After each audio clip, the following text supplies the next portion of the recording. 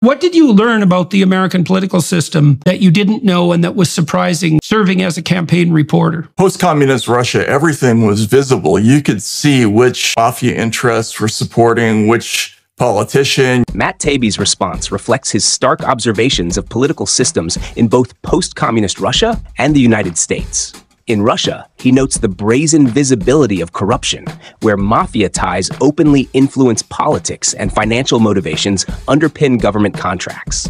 Conversely, Taibbi found himself puzzled by the lack of transparency and substance in American politics during his time on the campaign trail. He perceived a hidden layer of complexity beyond the superficial speeches, leading to frustration with the predictability of the American political system. Taibbi describes a conspiracy of interest involving donors, campaign journalists, and political parties, tightly controlling the narrative of legitimacy for candidates through various means.